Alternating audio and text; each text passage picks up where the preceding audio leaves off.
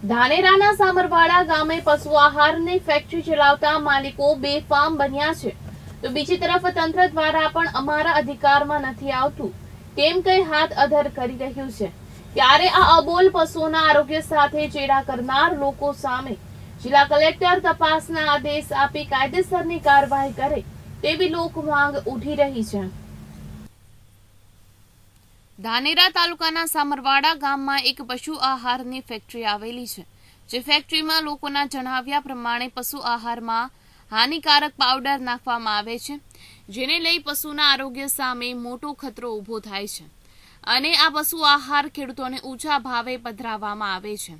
સમગ્ર ઘટનાની જાણ લોકો દ્વારા મીડિયાની ટીમને કરતા મીડિયાની ટીમ પણ ઘટના સ્થળે પહોંચી હતી ને રાત્રિના સમયે હાનિકારક પાવડર ભરીને આવેલી ગાડી ખાલી થઈ ગઈ હતી અને પશુદાણમાં ભેળસેળ થઈ રહ્યું હતું. તે સમયે મીડિયાની ટીમ દ્વારા ધાનેરા મામલતદારને જાણ કરવામાં આવી હતી અને મામલતદાર ભગવાન દાસ ખરાડી પોતાની ટીમ સાથે ઘટના સ્થળે આવી તપાસના કામે લાગ્યા હતા. પરંતુ એક પિયુષ ચૌધરી નામનો પશુ ડોક્ટર ત્યાં આવ્યો.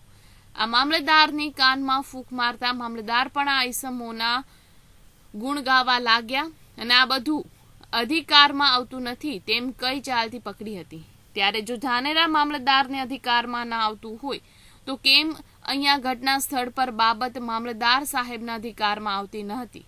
તો કે અધિકાર દ્વારા આવી અને મામલતદાર સાહેબે તપાસ કરી. ચાલુ તપાસ દરમિયાન પિયુષ ચૌધરી આવતા જ મામલતદાર સાહેબે કેમ ચાલતી પકડી, એક મોટો પ્રશ્ન ઉઠવા પામેલ છે.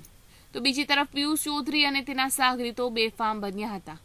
ને તમારાથી જે થાય તે કરી નાખવાની ધમકી આપી હતી.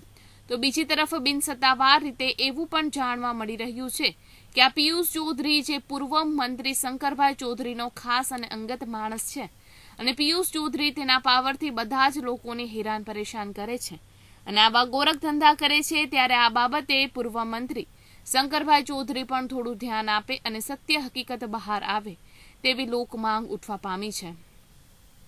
કેટીવી ન્યૂઝ ગુજરાતી સાથે અજમત સિંધી ધાનેરા